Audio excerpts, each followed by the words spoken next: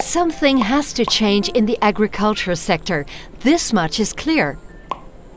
We're facing the enormous challenge of feeding a growing world population without depleting our planet any further. The Wageningen University and Research Agroecology and Technology Field Lab is seeking solutions.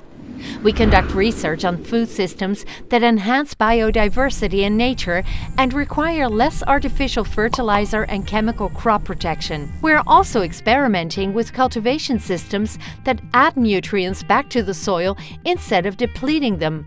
We are exploring ways to promote sustainability and circularity while also ensuring that farmers earn an acceptable income.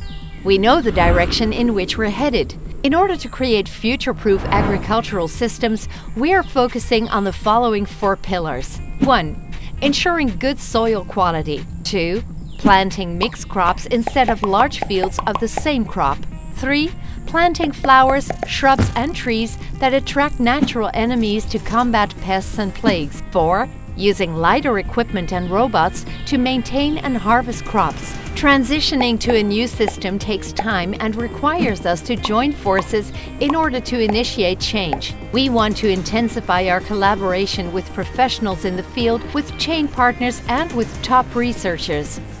Arable farmers and outdoor vegetable growers can use practical building blocks to increase the sustainability of their food production systems.